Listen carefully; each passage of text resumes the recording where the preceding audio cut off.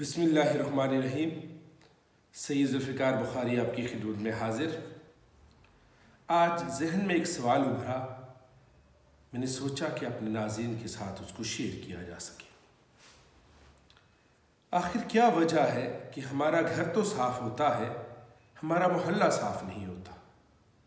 आखिर क्या वजह है कि हमारी मसाजिद तो साफ़ होती हैं, लेकिन गलियाँ साफ़ नहीं होती?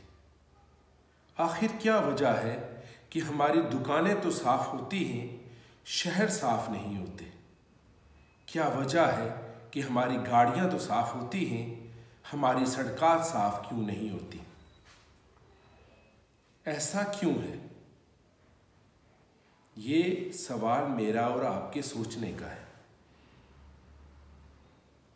हमारी मिंबर और मस्जिद में पाँच वक्त अल्लाह का नाम बड़े ज़ोर शोर से लिया जाता है। ज़्यादातर तो अपने मसलिक का प्रचार किया जाता है, लेकिन कभी वहाँ पे ये नहीं बताया जाता कि ये जो मस्जिद की मुलहिका गली है, इसकी सफ़ाई भी हमारा फ़र्ज़ है। हम अपने घर का सारा कूड़ा क्रिकेट बाहर गली में फेंक देते हैं। अगर हम ताजर हैं तो अपनी दुकान का सारा वेस्टेज हमने सड़क पे फेंक देना है। अगर हम गाड़ी में जा रहे हैं, हमने जो कुछ खाया पिया, जो बाकी बचा वो सड़क पे फेंक दिया। पार्क में गए तो डस्टबिन पास पड़ी है, लेकिन हमने सारा वेस्टेज बाहर ही वहाँ पे फेंक दिया। अगर हम पहाड़ों पे गए तो हमने पहाड़ों को आलूदा कर दिया। अगर हम दरियाओं के पास गए तो हमने दरिया को आलूदा कर दिया। मैं सुबह सुबह अपने बच्चों को स्कूल छोड़ने जा रहा होता हूँ तो मैं देखता हूँ कि बल्दिया के वर्कर बहुत अच्छे तरीके के साथ सड़कों को साफ़ कर रहे होते हैं। लेकिन जब वक्त दो या तीन बजे का होता है तो हर तरफ़ शापर रैपर्स अटा अट गंद पड़ा होता है। क्या सिर्फ़ एक अदारा आपके मुल्क को साफ़ रख सकता है?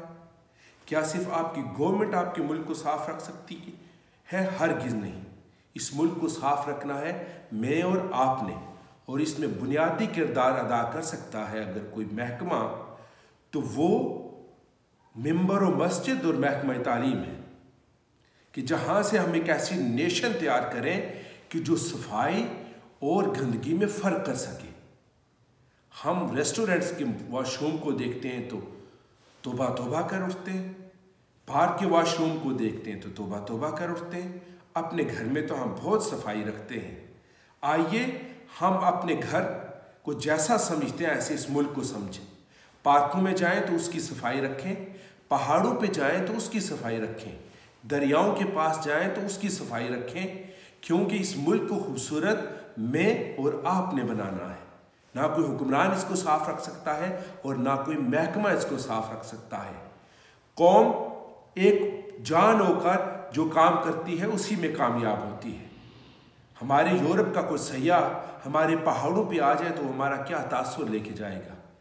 कभी आपने मालूम जब्बा जाते हुए तोली पीर जाते हुए, बाघ जाते हुए, मरी जाते हुए, सवात जाते हुए कभी आपने ये सोचा कि जब हम यहाँ से वापस आएँगे तो हम अपना कितना वेस्टेज यहाँ पे छोड़ के जाएँगे? आइए अपने मुल्क के साथ प्यार कीजिए। जैसे हम अपने आप को खूबसूरत बनाते हैं आइए अपने मुल्क को खूबसूरत बनाएँ अपने मुल्क को साफ़ सुथरा बनाएँ।